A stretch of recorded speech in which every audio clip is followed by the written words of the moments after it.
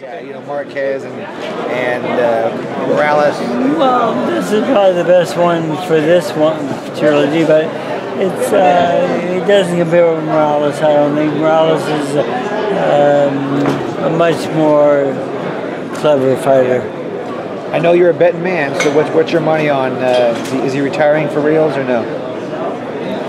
Um, I don't think so. How much, how much How would do? Well, you know, if you put that fight together, then you have to put a cap on how much he can weigh after weigh-ins and stuff like that. It's probably not realistic because he's just too big a person. It's over.